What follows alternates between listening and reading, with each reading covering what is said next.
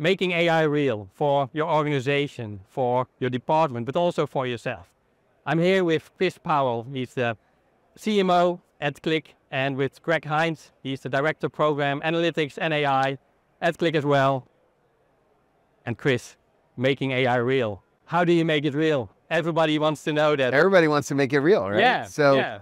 yeah look, I think the uh, big thing and a big theme of this show is all about the ways that uh, we're working with customers in reality, right? And the as we are working with customers all over the world now for a, a couple of years now, bringing at first it was things around machine learning, data science, and now increasingly generative AI. Um, what we found is that there's just an awful lot of hype out there, and we want to bring this down into the reality of what the customer's real problems are and what they're really doing today, uh, and introducing that here at this show. Perfect. And we're going to do a tool With, the, with the two of you. Let's do it. We have a number of steps. First, we're going to the AI trends. Excellent. All right, Oh, let's go there. So, Greg, can you explain AI trends? Why is this the first step?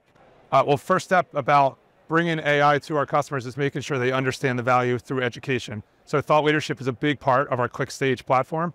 And what we've done is every year we bring together a program designed to predict what are the top trends coming in the following year. So that's led by Dan Sommer. He's the head of our competitive intelligence, former Gartner analyst. He spends months talking to customers, partners, analysts, and doing his own research and defining what are those top 10 things that customers need to watch out for. So we deliver it in a presentation with over 10,000 attendees in January, and then we continue to bring that information to customers at events like this throughout the year.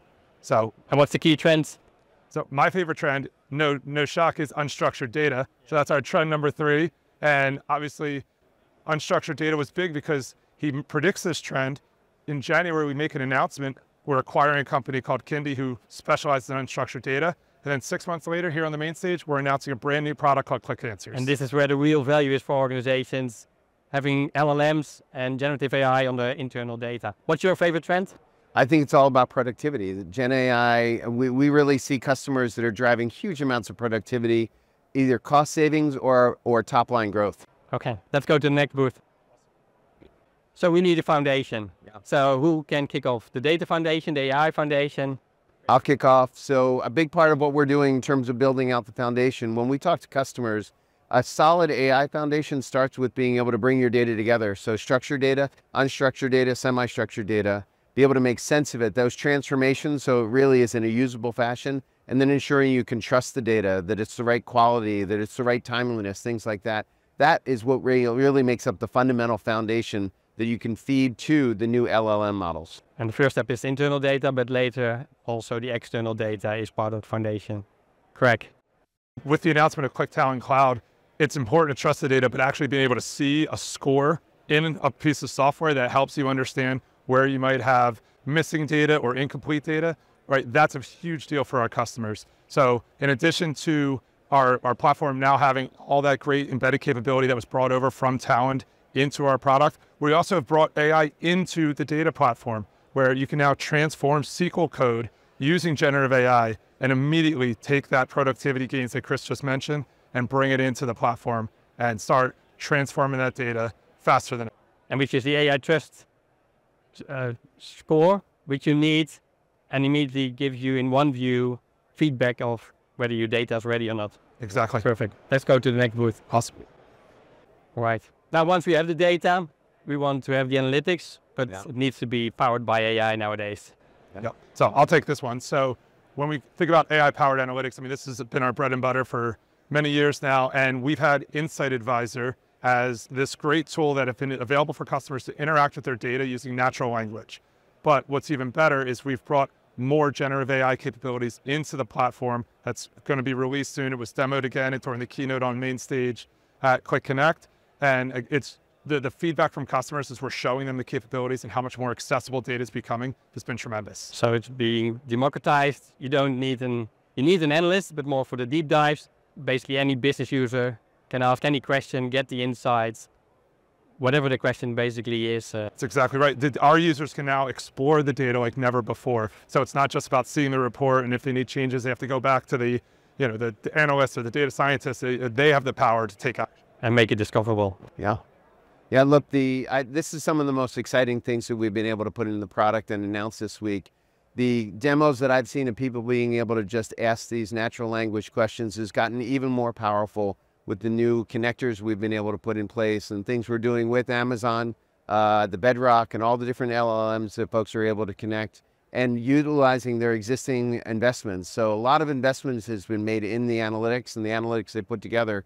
We're able to take those investments and really add to it with this capability to ask more natural language questions. But also for the organizations, it's really making more value for everybody in your organization on your data. So it's bringing much more value from analytics than what you had before. Yeah. Let's go to the next one. All right. So moving to the AI solutions, but AI is everywhere. So what's different from the AI solutions versus the AI powered analytics, for example, or the AI foundation?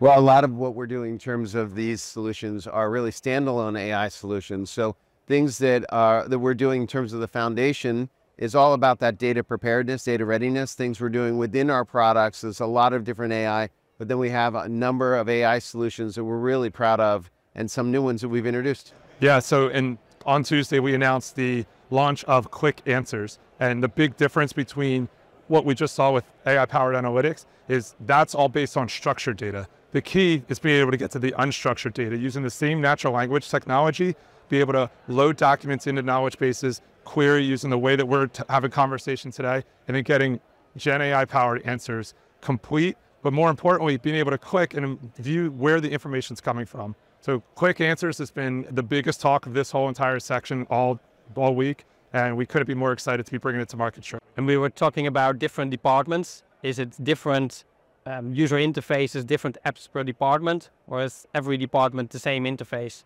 So we have the ability to actually interact with the Qlik Answers product inside of the Cloud platform, or it can be embedded into the sites where users will be experiencing and working day to day. So thinking about SharePoint and being able to query in a chat-like assistant right on their page and getting access to all that data that's hidden in PDF documents and soon to be videos and, other types of unstructured content. It's, you're touching one point. If you start bringing it to other systems, how well is your data protected?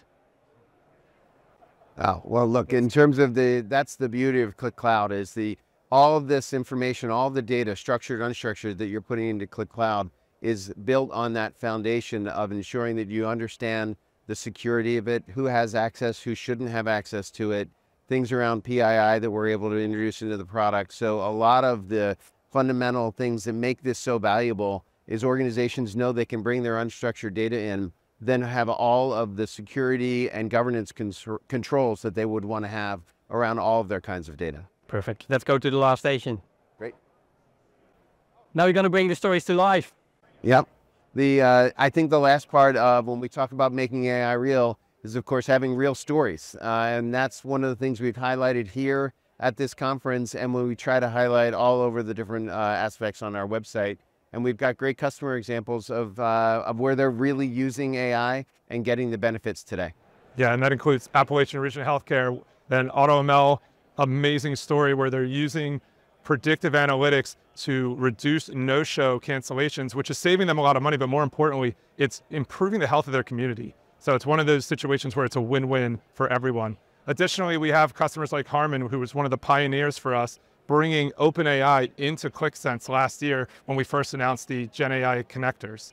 And then there's some great stories, again, just really emphasizing all the different areas, including data foundation. Radiall is a French manufacturing company and they've done so much work improving their data quality and bringing data efficiency to the point where they've now trusted the data so much with the reporting has gone from eight, eight, 28 days down to seven.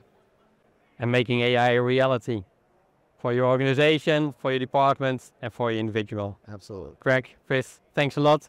Thank you for watching here from Qlik Connect in Orlando. Great. Thanks. Thanks, Ronald.